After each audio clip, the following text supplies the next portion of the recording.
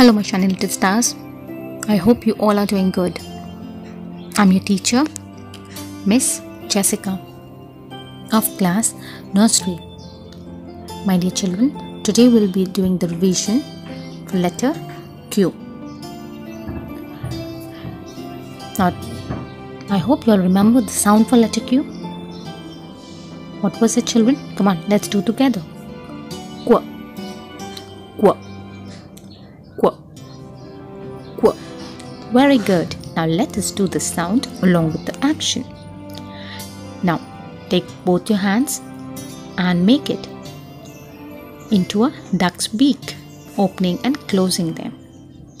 And what sound you'll have to make? You'll have to make the qu, qu, qu.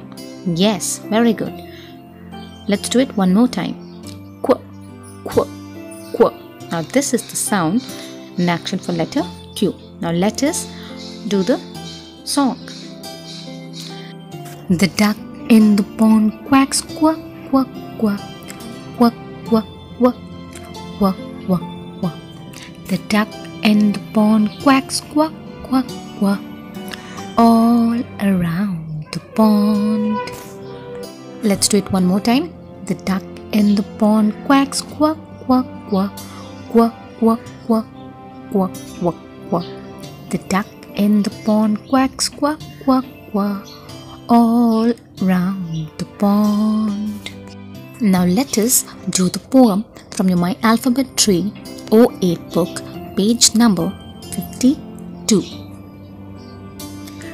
Q Queen.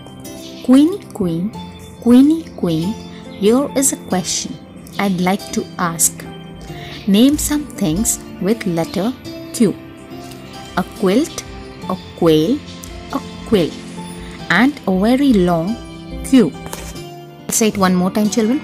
Queenie Queen, Queenie Queen, here is a question I'd like to ask.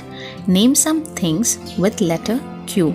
A quilt, a quail, a quill, and a very long queue. That's all for today, children. Do revise everything. Thank you.